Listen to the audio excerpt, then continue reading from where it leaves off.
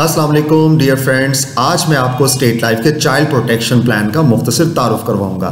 जैसा कि आप जानते हैं कि बच्चे कौम का मुस्तबिल होते हैं, उनकी नशोनुमा और निगहदाश के साथ साथ उनकी तालीम और तरबियत भी हमारी ज़िम्मेदारी है।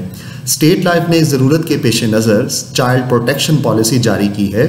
ये पॉलिसी बच्चे और बाप दोनों की ज़िंदगी पर मुश्तर तौर पर जारी की जाती है। यानी इसमें बच्चा और बाप दोनों इंश्योर्ड हो जाते हैं। चाइल्ड प्रोटेक्शन प्लान के इजरा का मकसद बच्चों के रोशन मुस्तबिल को यकीनी बनाना है। इसकी बदौलत बढ़ते हुए तालीमी और तरबियती अखराज को पूरा करने में मदद मिलती है।